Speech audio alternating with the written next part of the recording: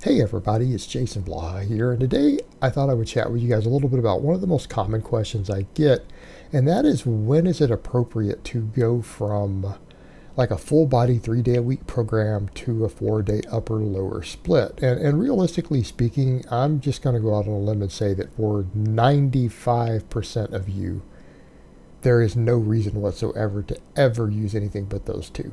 Now, we could argue about different sorts of movement pattern splits. We could argue about five day a week programs, six day a week programs, all that, right? We could argue about those things. Completely irrelevant. Best coaches in the world, best athletes in the world for decades run one of those two templates.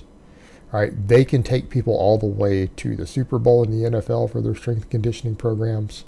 They take elite powerlifters all the way to world records, and I mean dozens and dozens of world records.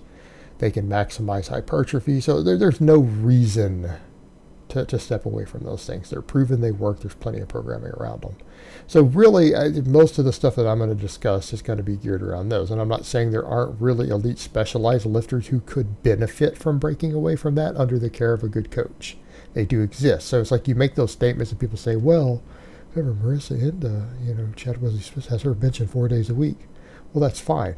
She's also an elite ultra elite power lifter with decades of experience under the guidance of a coach.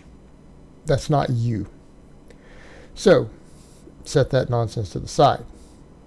It works for her in a specialized, highly specialized coaching environment. So, for everybody else, let's talk about this. Why full body three day a week?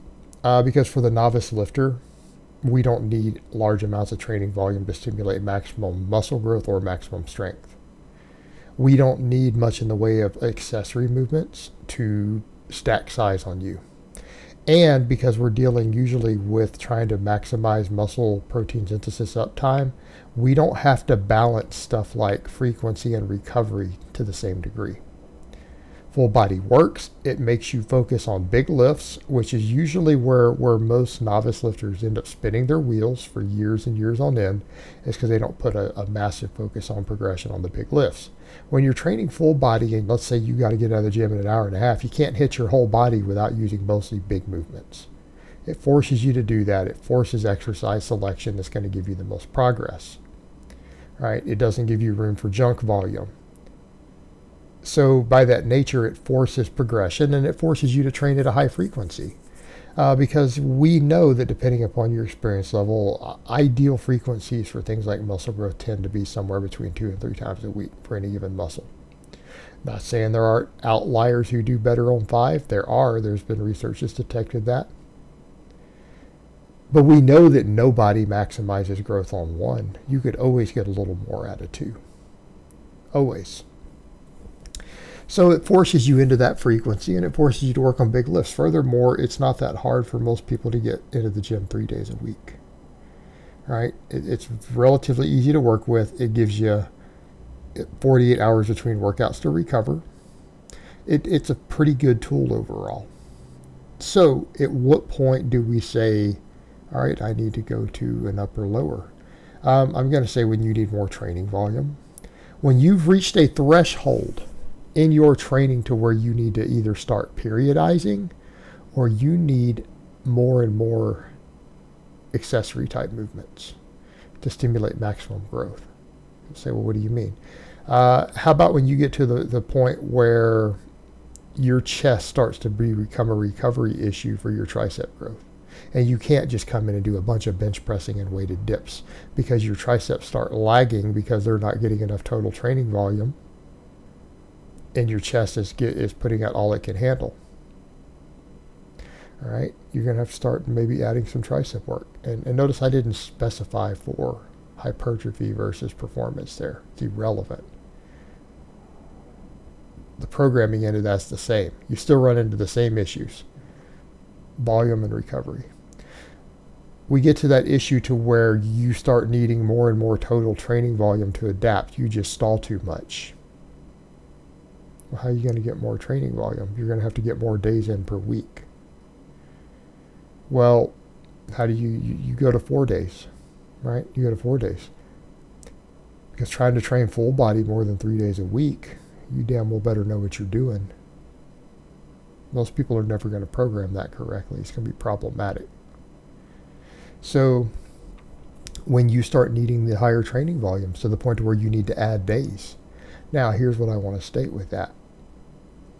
That's not at the point where a lot of people think they're at. Right? Not where they think they're at. I'm not talking about when you're still what I would call a late novice. Look, if you bench 205 for three reps, I'm not talking about you.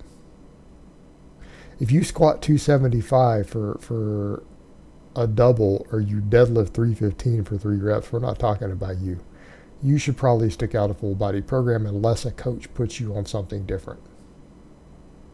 Personalized program. And a personalized program is not, hey, they mail you a cookie cutter 12 week program. No, personalized means that coach looked at what you're doing and they're actually updating you every week. All right? That might be when you need to go to upper lower. Essentially, we go to upper lower when we either need to start adding multiple accessory movements in and or we need to start periodizing training. How about when you want to train multiple rep ranges in a week? And I'm talking about on bigger exercises or different performance elements. All right, that might be the point where it becomes beneficial to go to upper lower. Because then we can do concurrent periodization better. It's hard to do it correctly on a three day a week. It can be done. It's going to flow better on a four. Uh, when we reach a point to where the total squat volume that we need to hit starts to really interfere with our ability to bench press, for example. Notice I didn't say powerlifting strength numbers because, again, we come over to the, the point I always make. If you're a drug free, hypertrophy oriented guy, you should probably train more like a powerlifter, anyways. Because what is powerlifters usually doing? Big heavy weights on their big barbell movements smaller weights and more reps on their smaller accessory movements, right? Shouldn't be a difference there. The only difference between someone training for general hypertrophy and strength versus powerlifting is you're not going to be hitting one rep maxes in your training. That's the real difference. The rest of the programming should be generally the same because serious powerlifters are trying to maximize hypertrophy, aren't they? Right? They need to be as big as possible in their weight class. They're training for maximum hypertrophy too. So we go to a system like that when it's time to start periodizing. We go to a, a, system like that when you can't maximize your growth off six or seven big movements and you have to start adding in smaller movements and more than just one. Because on a full body, you can hit one lagging body part. If your biceps are lagging, you can do some bicep work. You can do it every single workout your hamstrings are lagging, you can do some hamstring work every single workout. Or just stack it in on Friday, right? on a Monday, Wednesday, Friday. What happens when you start needing multiple assistance movements? What happens when your triceps, your traps, and your hamstrings are now your weak links? Now you're needing at least three different types of accessory movements. And you've identified a movement pattern weakness in your bench press. All right. It becomes increasingly difficult to program this off of the full body and get enough training volume in to hit all these elements. When you reach that threshold, it's time to go to an upper lower. Now, when I say weak links, let's come back over to where people say, well, I think my weak link on my bench press is this. And you look and they don't know how to bench press and they're doing 185 for a double. Okay. You're weak. You don't have a weak link in your bench press. Your body is the weak link in your bench press. Because everything is lagging. You don't have big pecs or triceps or front delts, or you'd be benching more than 185 for a double. You need to keep working on everything. Therefore, that's full body. In short, we go to an upper lower when you actually have to start specializing. And I don't mean specializing in one lift or one muscle group.